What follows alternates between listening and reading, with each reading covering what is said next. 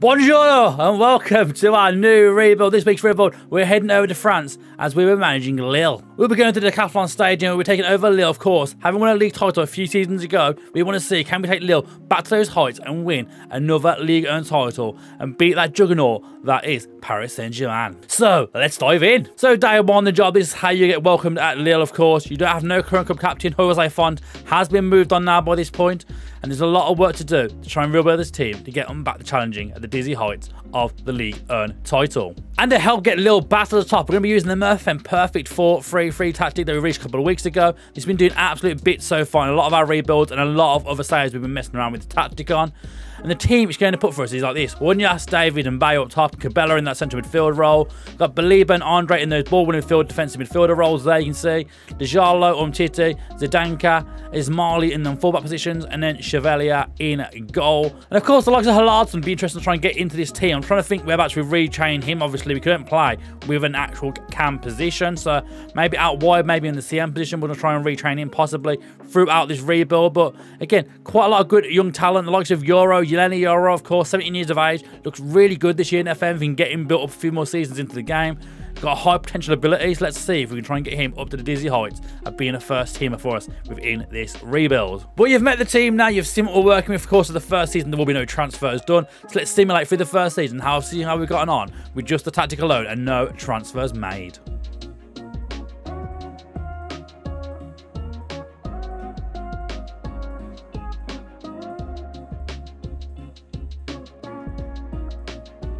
So, season number one in the bag, we come back now. It's been a very successful first season here for Lille.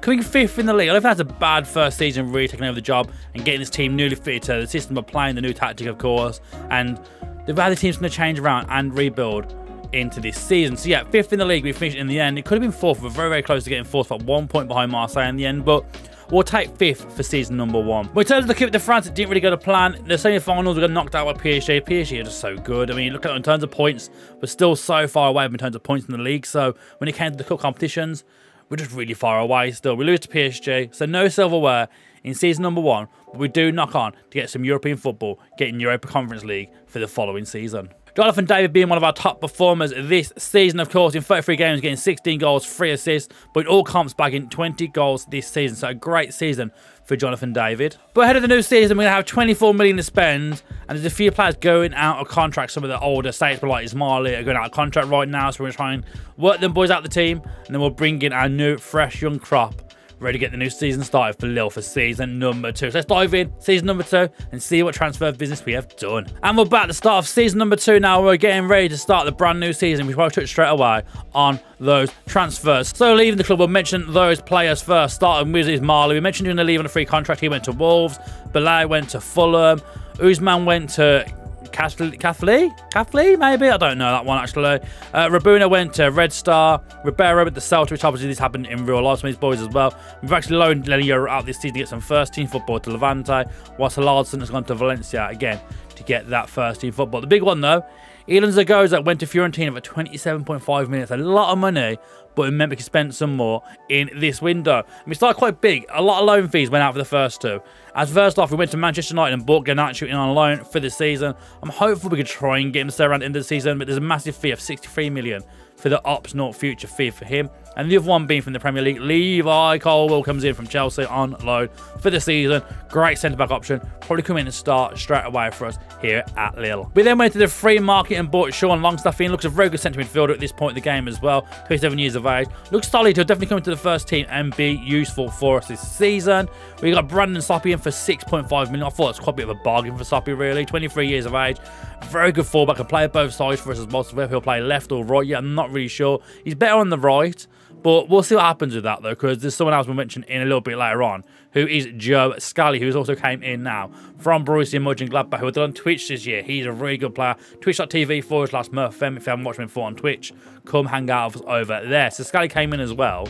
And joining him from Germany was Ilaix Moriba, someone I've really enjoyed in Football Manager for the last few seasons. 22 years of age now. He looks absolutely insane to put in that midfield. Maybe alongside Longstaff or maybe just ahead of him in that CM role and Longstaff jumps in the DM role. We'll see in a few minutes. We'll see in a few short moments. But yeah, let's carry on. Marcus Edwards, never capped by England, oddly enough, at this point. I mean, I thought he might be because in terms of in-game, he looks really good. Maybe not as well in real life, but in-game, he looks absolutely insane. He comes in now, 26-year-old. He can play on both wings. He just looks really, really good. So I'm excited to get him in this little side. And the last one being another low move for that midfield role, of course, with Warren Zaire Emery coming on loan from Paris Saint-Germain coming in from our rivals trying to steal one of their players. Was there an option in the end to buy him? 55 million. I don't think we'll be activating that anytime soon. So following the end of the season, we actually got promoted from the Conference League up into the Europa League. So we do have Europa League football this season, of course, being the Coupe de France as well. And we're challenging towards getting a top half, well, I say top half finish. It says top half the ball expectation, but ideally I want a top four finish for Lille this season. So let's dive in, season number two, and see how I've gotten on over in France.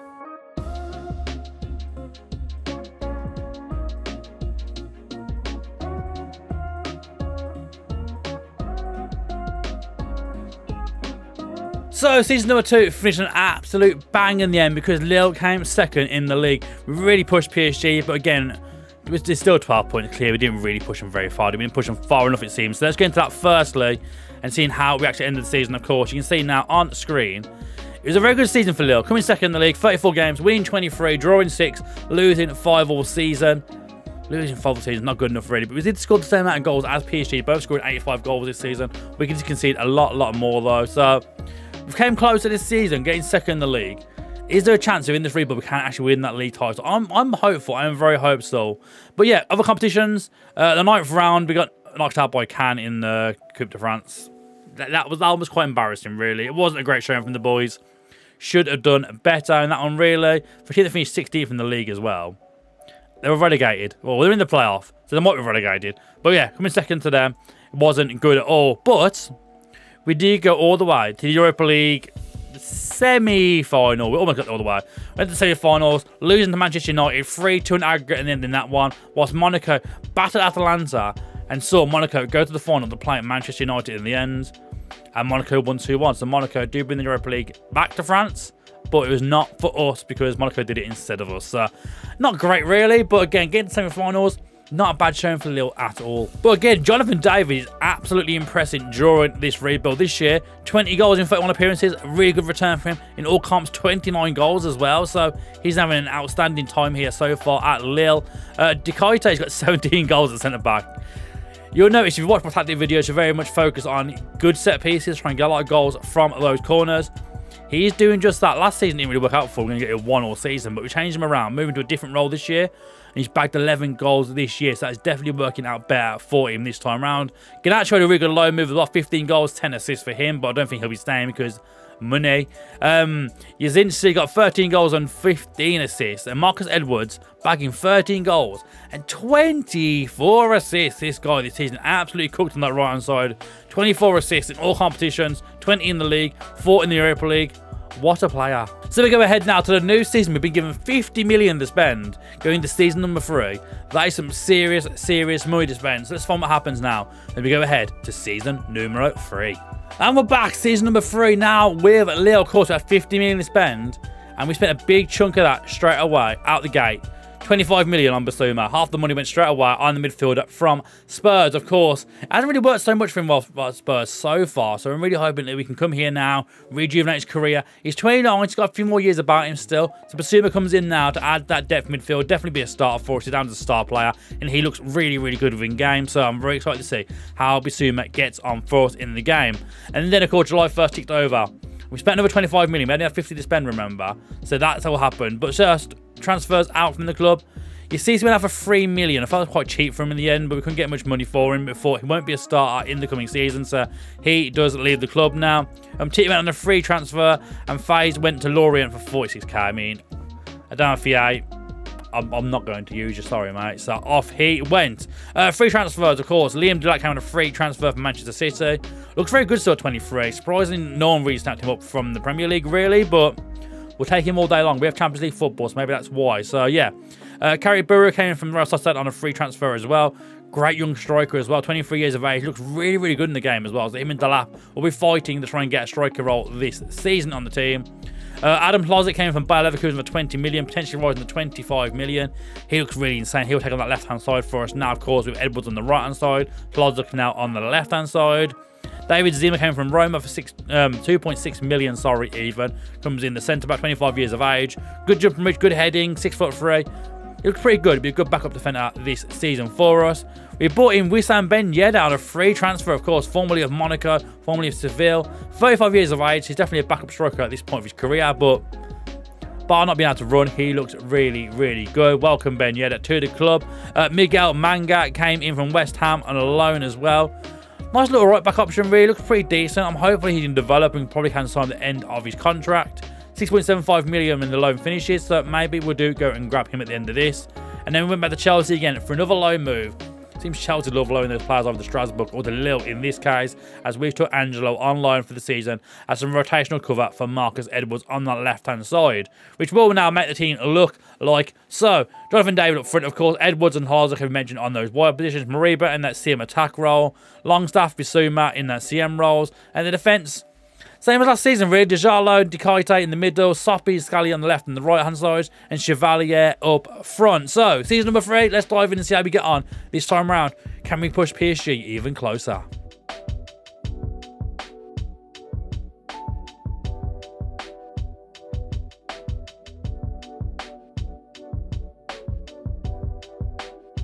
So season three comes to an end now at Lille, and we tried to push them even closer. We did really, really try. And we'll start off with the league phase first because we didn't actually win the league. I mean, it's probably a long shot win this early in the save still, but we came very, very close yet again.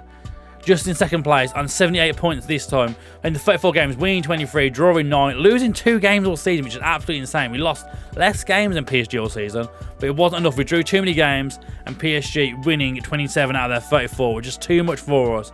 They won 85 points, us on 78. We come second yet again to Paris Saint-Germain. And I thought quickly we'll just touch on what they've been doing in terms of transfer business themselves so far. They've been doing much, of course. A lot of these players leaving in real life now. They've bought in Vinicius Jr., Paulo Dybala's there, Gnabry's there. Tyler Adams, oddly enough, obviously transferred from Leeds to Bournemouth as well recent times as well. Nico's there now. Skriniar, of course, but there in real life on a free transfer. I'm not sure who this keeper is. Donnarumma, I'm guessing he's on the bench being rested moment for some reason. Neymar still there, of course. Rodrygo. Second went to Madrid and got Rodrygo in. And they only got Vinicius Jr. That's just ridiculous, man. This club have too much money. How on earth we're meant to beat this team to a title? Pedro Goncalves, Mateo Kovacic, Ivan Nilsson. This is on the reserves. Goncalves and Kovacic have played like four and five games all season. Oh, no, sorry. They scored four or five goals all season. They've played 39 games, so Kovacic has. And I don't know where everyone fits in this team. Kylian Mbappe. I haven't even mentioned Mbappe yet. 37 goals this season for Mbappe. This, team's just too good. But it does make you wonder, can you actually win Ligue 1 during this rebuild? It's going to be very, very hard. Win the third season now, second place again. Champions League got knocked out by Inter Milan in the round of 16. And then Monaco, the Europa League champions, knocked us out in the 11th round of the Coupe de France. So again, no silverware again. Second place, we have qualified for the Champions League again. We do have money to spend, 30 million, so not as much as last year now, but it's not bad for 30 million. The team is pretty solid now. We are competing on quite a high level now already. I don't think we need to do many more changes to this team. So we'll go ahead now and see what happens in season number four. So we're back for season number four. We will be starting the season with the Trophy the Champions. As, of course, we came second place in the league. PSG won everything else. So we'll be playing them in the Trophy of the Champions at the start of this campaign. The transfer business, what has been happening in the transfer list. Um, it's been interesting. It's been very, very interesting, to say the least. We go to the end of the last season first. First off, we went to Lyon and we loaned in Pierre-Luc Vial from Lyon, a new gen in the game this year. He looks absolutely insane. Look at those mentals. Physicals are really good as well. Him as a DM most likely. Could play centre back, but he's only 6 foot, jumping reach of 13. So ideally for me, he will play in one of those DM roles. If we can keep him at the club at the end of his contract. He, there's no option to buy though, so it would be a case of paying a lot, a lot of money. But right now, probably coming in just as the backup. And then Arda Güler came from Madrid for 20 million. We're converting the plan the one on the wings most likely. I'm not sure it's going to be the right or the left just yet. Most likely that right hand side being left footed. And probably replace Marcus Edwards with Güler going forward. And then we got silly, we got silly. We'll start at the top. Heung-min Son came from Tottenham Hotspur at age 35 for 4.9 million. He looks really, really good still, Heung-min Son, honestly. And I thought, bring him into Lille. He looks solid. Welcome in Heung-min Son. Uh, Matar Sarr came from Tottenham Hotspur on a free transfer. Of course, we took previously Bissouma, now gone back to Spurs again. This time took Matar Sarr off of them. We went to Newcastle, to Elliot Anderson as well. We like Newcastle players, it seems, as well. Of course, long Longstaff in the past. Now, Elliot Anderson making the switch on a free transfer over to us. James Trafford on a free transfer from Burnley. He comes in, of course, formerly of Man City. Made the switch now over to Lille for this season. Finley Burns, free transfer from Man City as well. Another good young defender, 24 years of age now. Very good backup player indeed there. We then went and got Jamie Shackleton, of course, formerly of Leeds United. He went to Anderlecht within the for a few seasons, and now we've brought him over to Lille. So yeah, we've been quite busy. We've been very, very busy indeed. The best one, though, I think, for this one anyway, 6.5 million for Javi Galán. He's 32 now, but look at the attributes. Even at 32, he's a starting left back for the best European clubs in the world for me personally. He looks really, really good. Chaka Traore, 950k. Thomas Delaney, of course, formerly Seville, Dortmund. He's been around for a while now. Delaney, age 35, adds depth in that midfield. And then on a free transfer, Nabil Fekir returns to France. So in terms of that best 11 now for the new team, we look like this. Son's going to be leading the line now in this formation. Edwards and Hložek outside. Fekir going for that sim attack role looks like the best option for him right now. So quite interested to see how he gets on now. He's a little bit old as well now, so we'll see how he gets on from there. Of course, there's a good passing range though. Bissouma, Moriba, Shackleton to the right back, Diakite with Djalo through the middle, and Javi Galán taking up that left hand side at left back now. The team looks solid. Season number four. Can we challenge this time one more step with PSG and get a little bit closer to winning that all important Ligue 1 title?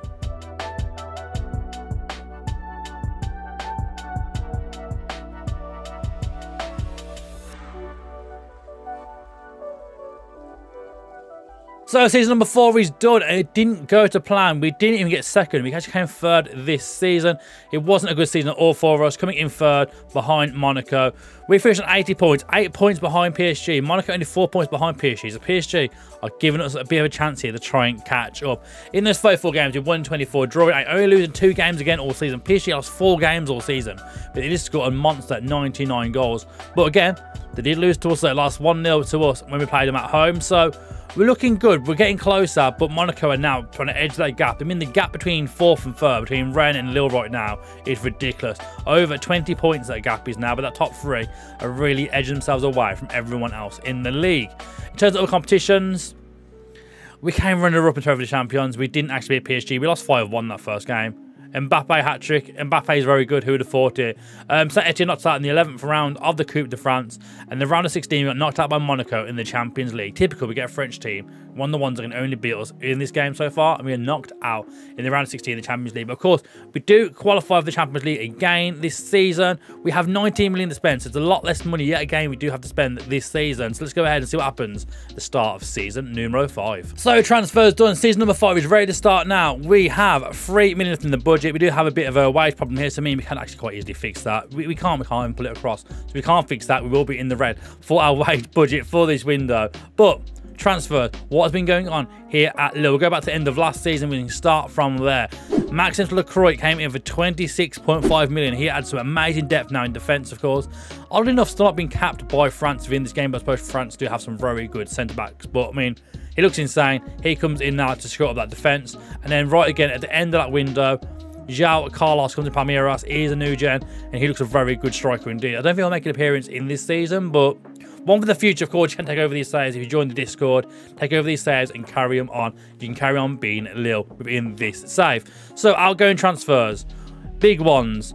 Chevalier went to Fulham for 23 million. We lost our starting goalkeeper, which meant we need to a new goalkeeper, which we'll get into that in just a moment. Jonathan David finally did leave the club. He went for 19 million over to Barcelona. Haraldsson to Wolfsburg for 12.5 million. Eddie Anderson left for 4.6. Delap went for 4.2. So everyone bought in a free transfer last season already at the door and made a profit on. We did have a lot more money spent in this window. Papi Sarr went out 4.1. Bayo went for 3.8. Longstaff went for 3.7. And the list goes on. Trafford, Unyas, Players that have only been here about a year, some of these boys. Finley Burns went out on loan and race straight away this season, so we've been getting rid of a lot of these boys. But we went in this window, our final window in this save, and we spent massive. Started off first with Emi Martinez coming in for 12.5 million age 35 to be our number one for this season. I like Emi Martinez in this game. I hate to say as a Birmingham City fan, but he's a very, very good goalkeeper. Uh, João Cancelo came in from Manchester City on a free transfer age 34. Still looks really, really good. Hasn't got the legs as much no more, but as a backup player for left back and right back, still pretty darn solid. Marcus Thuram having a free transfer from Inter, of course. In real life, free transfer from Gladbach to Inter. Now, again, after his six year stint there, five year stint there, free transfer over to Lille, back to France for him. So Sergiño Dest came for 4.7 million over from Borussia Dortmund. 27, still very complete, can both play left back and right back. I always love a full back and do both sides. Jose Sandala came on a free transfer as a backup goalkeeper this season.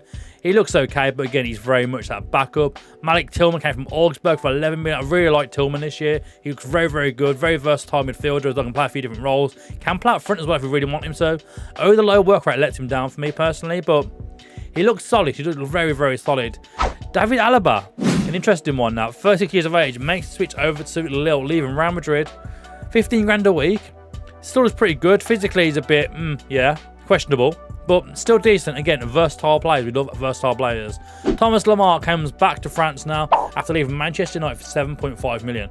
I've actually a bargain, really. Looking at the attributes and the value of that already. Very much a bargain. Lemar comes and joins us. Julio Enciso comes in for 30 million. This is a big one. This is a very big one. Of course, at Brighton in real life, went to Leverkusen 31 million. They load him out for a season, oddly enough, here. They haven't really played him. But now 30 million Enciso makes the switch over to France. I'm hopeful he can be a very good player indeed for us. Rodrigo Ribeiro came for 11.5 million. Great winger, can play striker. Looks pretty darn good as well. Good little bit of business for him. And then some free transfers, starting off with Alexander Mitrovic coming in from Fulham. Been there for a few seasons now. Still an elite goal scorer at age 33 as well. Remo Freuler comes in in a free transfer as well, of course, after leaving Nice. We have also then Orsic coming in formerly of Everton, Southampton in this game as well. Went to Everton after, after Southampton and Trabzonspor. And then Ruslan Malinovskyi comes back to France. Of course, he's at Marseille in real life right now. Went to Leicester in this game.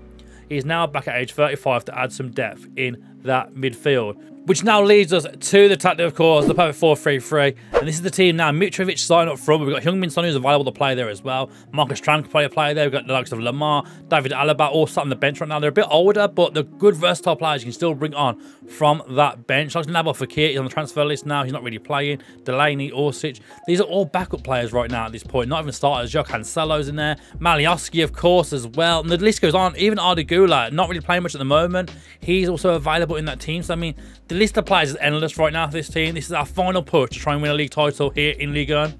Let's see if we can do it. Season number five, let's go.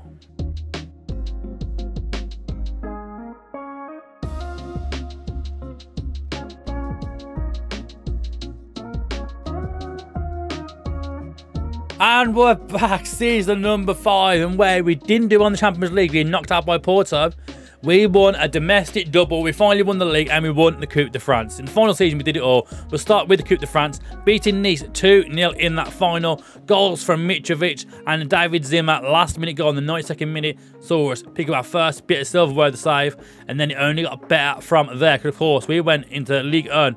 It was our final season to try and win the league with Lille and we finally managed to do so. If we go into the table now, you can see now in 34 games, we won 28, drawing 6, and lost 0 games all season. An undefeated season for Lille in League 1. We, we took PSG all the way.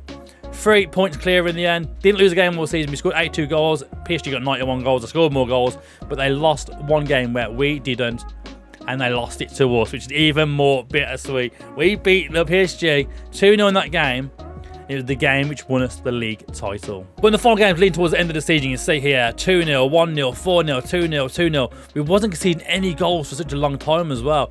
Barely conceded any goals all season. One goal in this game against Lens, and Etienne conceding one goal there. There's one goals here and there. Porto put six past us. I don't honestly understand what happened in that game.